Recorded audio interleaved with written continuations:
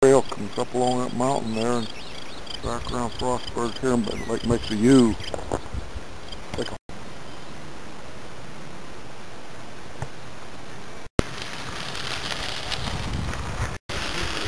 Big Savage Tunnel.